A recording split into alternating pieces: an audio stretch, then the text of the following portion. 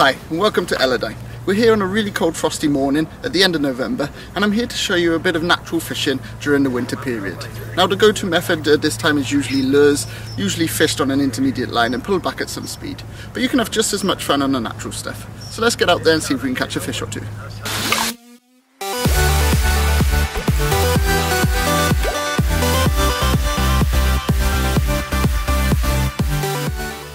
So today we're going to meet up with our friend Paul. Now he struggles with confidence a bit but he comes up with some great patterns and I really enjoy fishing with him. So we're going to try and instill some more confidence in him and get him catching on his flies. So what I've done is I've designed a pack designed around flies he's created and flies he really uses. At the top here we've got the Outlaws Buzzer and it's a great pattern. It's one I've kept secret for a long time but uh, I've fished with Paul a few times now and I know we do well on the buzzers so we've gone for the outlaw buzzer and that should catch a few fish. Then coming down the pack we've got a cruncher, another great pattern that catches a lot of fish, especially when they're feeding on the naturals. then we move on to the cormorants, which is Paul's bread and butter. He's really good with these flies, he really enjoys fishing them. And we start with the Laws Fugitive and then we've got the Laws Bandits. Now they're tied on size 12 and they're going to be perfect for your middle droppers. Then for your point fly, we've got two size 10 flies at the bottom of the pack. We've got the Lawes Daddy for when the fish are feeding high in the surfaces, and we've also then we've got the Lawes Egg Laying Cormorant for if the fish go down a bit deeper. It's a great pack and it's going to be available from our website for £12.49. Let's go and share with Paul and see how he reacts. Hi Paul, how's it going? How are you doing? Good. Good, right, Gareth? Yeah, I'm good, thanks. I've tied you a pack. Let me know what you think about it. Oh, it's safe deep. Yeah, a little pack. Deadly. The well, that's a great name as well. So what I was thinking, I know you're really deadly with this kind of setup. Maybe you could go through what sort of tactics you use on a still water fishery and we can give the viewers some uh, tips and tricks to help them catch more fish. Yeah, no problem at all. Okay, so I've just received these flies from Gareth. Much appreciated gift. Um, quality flies as usual. Um, called the Outlaws. Uh, looking at this pack, a setup that I'd probably use is the Outlaw buzzer on the top. Just looks a dead little pattern. A little Lawes bandit in between and on the point an egg laying cormorant. Um, typical 12 foot leader, space 4 foot between flies, going to be deadly.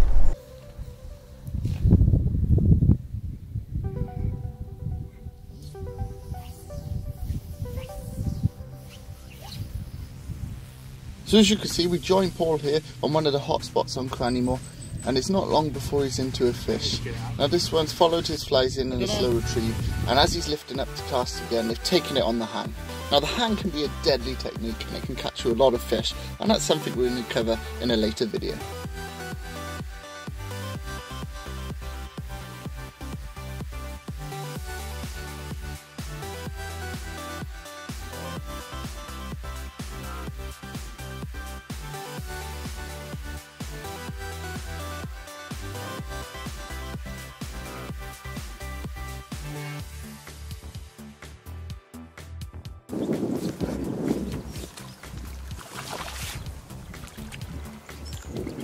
Now it was great to see Paul landing the first fish. I hadn't even set up my rod by this point. And this one took the Laws Bandit, a deadly little dropper fly. And off he goes to fight another day. Okay, so listening to Paul's advice, I think is great advice. So I've gone for the Outlaw Buzzer as my top dropper as well. I've also gone for that Bandit Cormorant as my middle dropper because I think they're both deadly flies and can work as good naturals for the fish in the lake. I've changed my point fly though, because I think the fish are higher up and they're feeding a bit higher up in the surface. I've gone for that Laws Daddy, which is a great cormorant fry with legs that give it plenty of movement and it often catches some very nice fish. Okay, so we're giving Lakemore a good go here, but I think a really important thing when fishing naturals is to have a slight breeze or a little ripple that's going to help move your flies in a very natural way. I often find with this sort of ripple, you'll catch more fish and the fish are more inclined to take your fly. So let's go over to Meadow where there's less shelter from, uh, we've got protection from the trees here.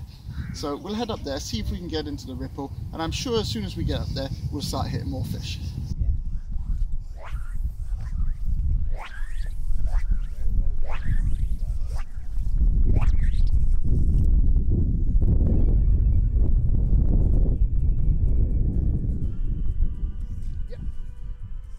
left my net with Lloyd, so unfortunately Paul's going to have to come and net this for me the letting it drift around in the wind naturally is definitely uh, paid, paid dividends. The fish almost straight away. So. I don't know what it's on, Paul. I've got uh, sorry, I got three flies on. We'll have a look now. I think he might be taking the buzzer.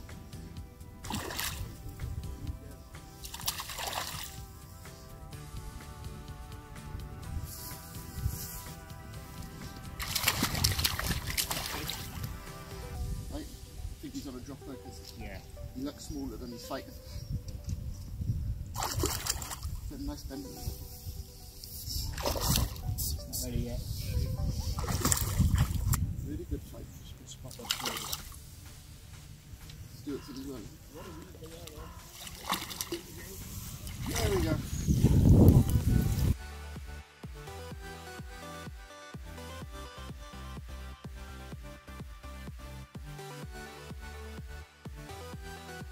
Okay, so we decided to switch locations so we can get a bit of wind uh, coming with us to help move the flies more naturally. And within sort of forecast, we've caught a fish, so it's definitely a good thing to do. Listening to Paul with his advice to use that buzzer has paid off as well. Let's get back out there and see if we can catch a couple more.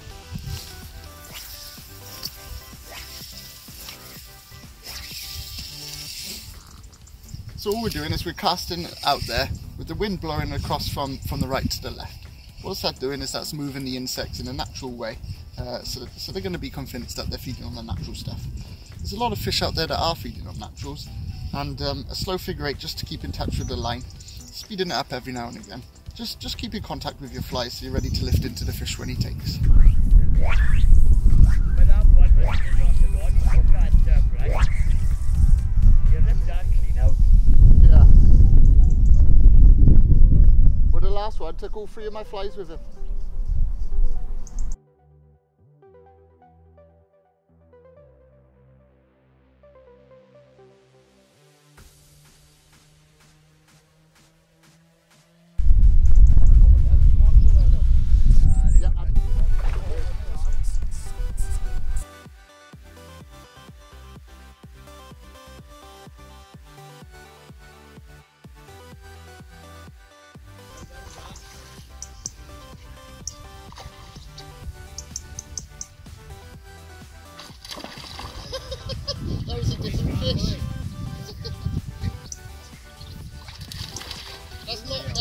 That's not my fish that's jumping.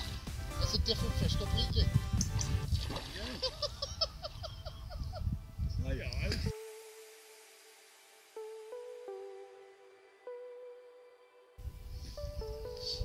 Oh, I might have two on actually. I don't know.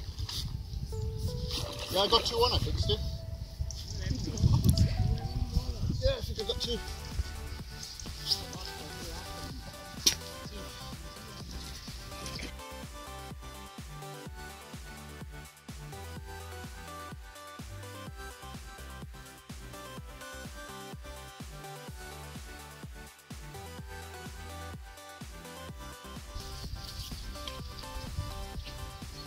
Oh, don't tell me they stuck themselves in. In the weed guard, eh? Yeah, both of them have swam straight in the weed.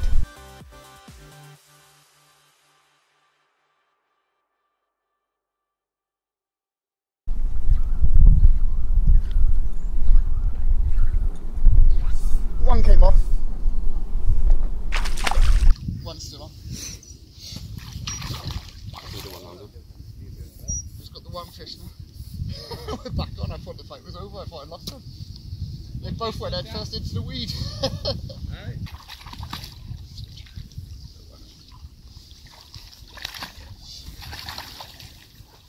this one's taken the laws, Daddy. The other one was on the buzzer again, but unfortunately they both swam into the weed. One of them's got off, but we've landed one, so gonna be free fish. But uh, you can see the laws, Daddy there. Just uh, lightly looked in the lip quick show to the camera and then we'll get him back. So it's a lovely fish.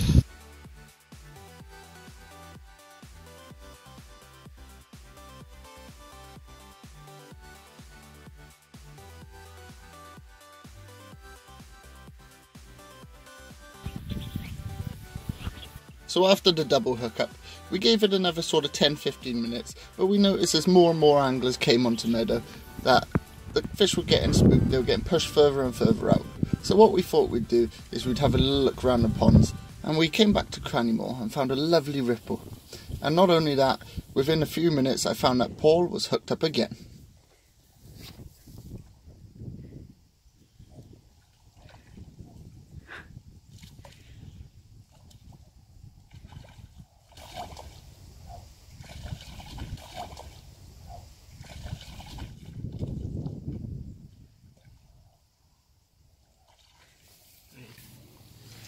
Another lovely fish, and this one took the laws, Daddy.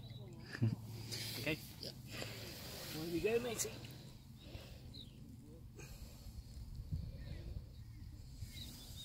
They can all fight that one, eh? us.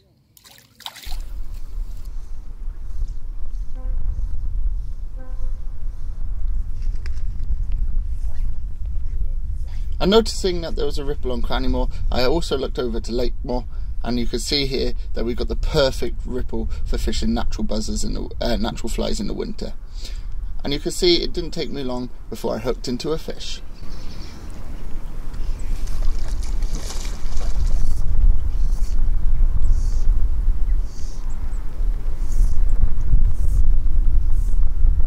So I knew as soon as that ripple came up, we'd hit fish. Literally first cast there, and I think he's the Law's daddy again.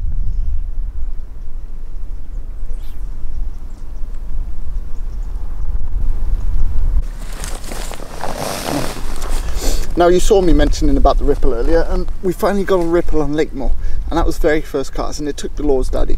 Now unfortunately it came off but that's the way it goes sometimes in fishing. So now we've got a nice ripple up here, we should start hitting fish. Let's get back out there and see if we can have another. You've just seen me miss one and also I had that fish but I didn't turn the camera on. But what they're doing is they're taking as soon as the flies hit the water. So let's go in the shade a bit so the wind's not so loud and I'll teach you a quick tip that'll get you direct contact to your flies. Okay, so say you've cast out, you've got a bit of slack between you and your fly. Simple technique, just pull your line back while pushing your rod forwards and that gets you instantly in control of your flies. And then you can carry on figure eighting just so you don't miss a take. Because often when you cast out, they'll take it just as it hits or as it's dropping down. So any slack between you and them flies, you're not going to register the take. So it's simple, your flies have hit, you can see the line's got lots of slack in it. Pull back, push your rod forwards, and you're instantly controlling your flies and you're more likely to catch some fish. I want to grab the top bit, there's loads in. What did he say, even if it's not dark, he's closing it half full?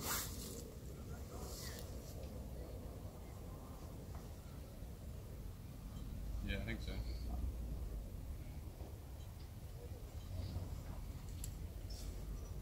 Oh, there's fish up and around me. I think I need to go the other side. I reach in from over?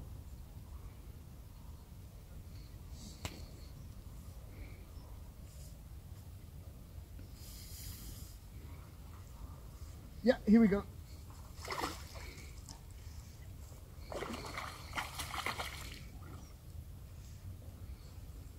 You can see that ripple, that's definitely helped. Ever since it's come on, they're feeding, and they're more confident feeding as well. Again, I think that's the Law's Daddy. It's been a great fly for today. And this looks like a bit of a nicer fish. We'll try and get him netted pretty quick. Oh, oh, oh, don't want to lose him.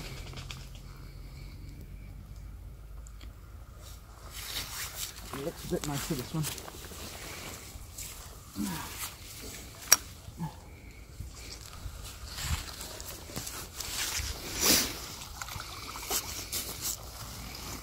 That's a lovely fish, that is.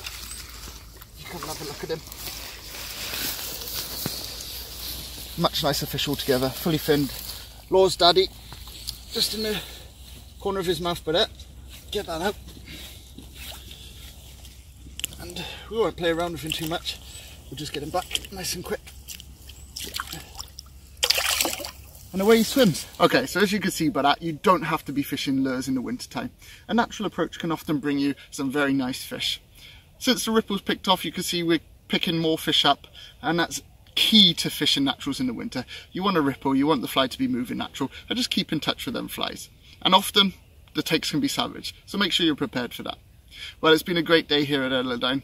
Let's go and have a quick catch up with Paul before we say goodbye. Okay, so with the easterly wind, that was a very tough day, but the natural approach was definitely the way to go. What did you find was working for you, Paul? Um, Law's Daddy again.